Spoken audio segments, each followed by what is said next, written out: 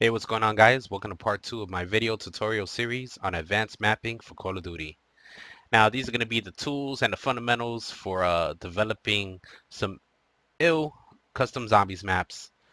So, uh, first thing you want to do is, um, if you haven't, watch my part one video. That's going to show you how to get the mod tools. And on this video, we're going to be going over Script Placer. Now, Script Placer is a program that's going to set up the files so we can start developing a custom zombies map. You know, so first thing you want to do is go over to their website. You're going to want to go to ugx-mods.com. You know, once you get to their site, it's going to look like this.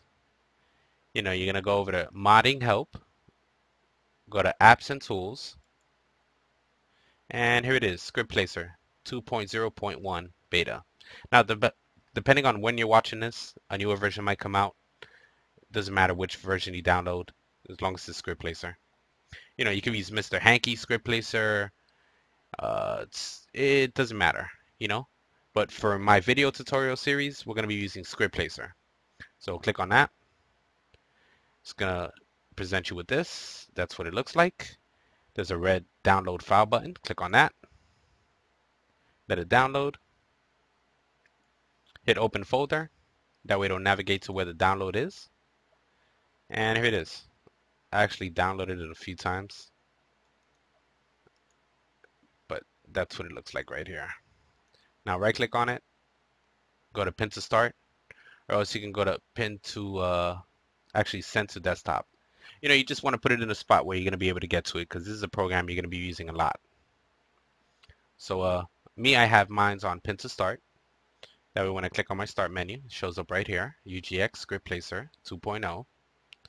You know, click on that. It's going to open it. And there it is. It's a beautiful application. It really helps out a lot of uh, modders and um, people in the modding community or any map developer.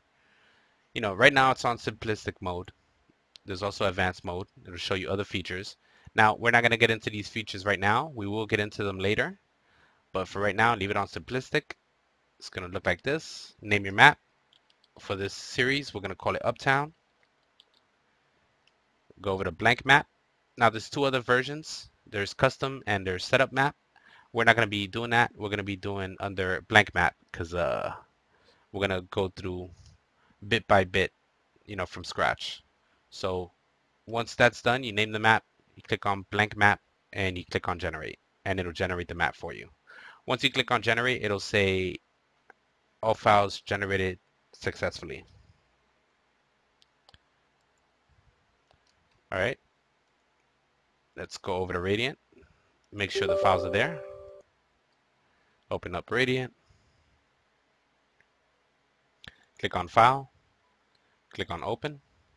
And there it is, Uptown you're going to get two files. You're going to get Uptown and Uptown Patch. Now, this is just the file that's going to help this file run when you're um, actually compiling the map. So you just want to click on Uptown without anything else. Click Open, and there it is. Now, you know it loaded because it's going to give the location of where the file is, and it's going to say the name of the file, .dot .map. And there you go. There you have it. Now, on the next video, we're going to start developing a map. You know, we've already gotten through the hard part. Now it's on to the good stuff. So if you guys like the video, um, hit a like button and subscribe for uh, future content. I'll see you guys in the next one on part three.